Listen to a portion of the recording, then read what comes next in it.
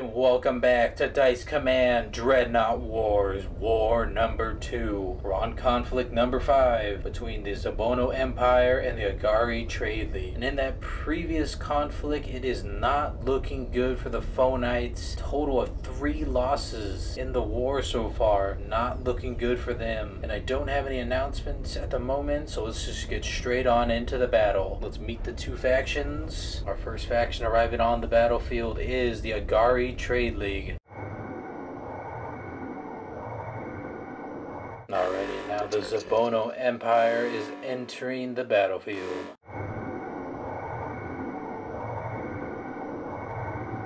And there you have it, the two factions ready to square off. The biggest faction and the smallest faction. Round one underway, get to the roll off. And there you have it, Agari Trade League starting off see what they can do.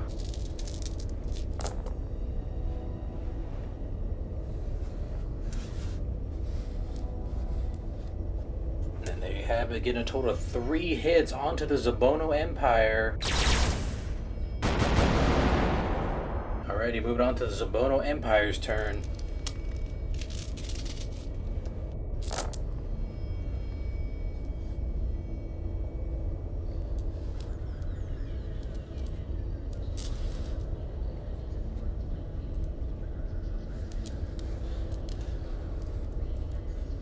An okay start for the Zabono Empire, getting four hits onto the Agari Trade League.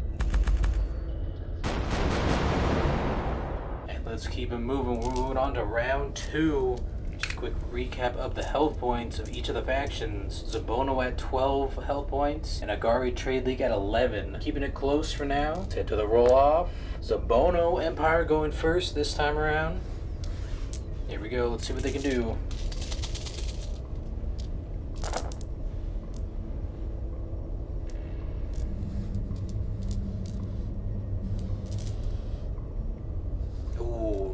Very good. Only two hits for them.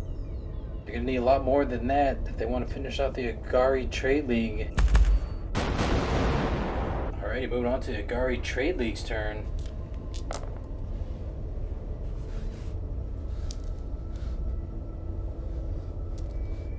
Definitely good round for them. They're getting a total of four hits onto the Zabono Empire. Alrighty, that does end round two. We're on to round three. We got the Zabono Empire still with 8 health points, and the Agari Trade League with 9 health points. So still neck and neck between the factions. Here we go though, the roll off. And it is the Zabono Empire going first this time around. Let's see if they can get a better roll than that last one.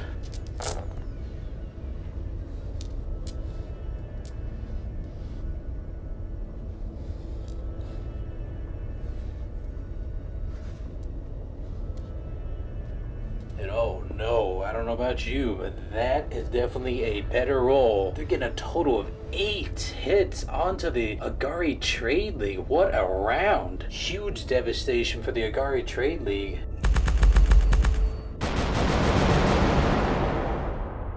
And we're on to the Agari Trade League's turn, and they're hanging on by a fingernail. Can they get that special off to get some health points back? They really need it. They are not getting it, but they're, they're still getting some hits in. Two hits for the Agari Trade League onto the Zabono Empire.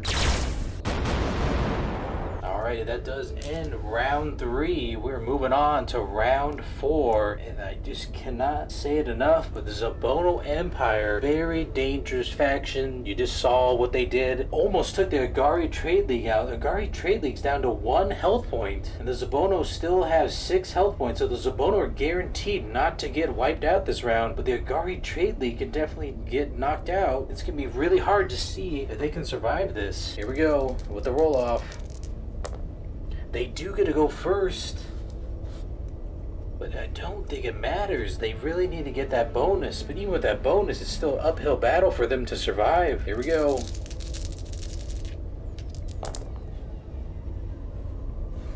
And they pull it off. They get the five hits. So that does mean they're getting two health points back onto their dreadnought. Alrighty, on to the Zabono Empire's turn. Could this change the fate of this conflict? They got two health points. Will it be the difference, though? Here we go.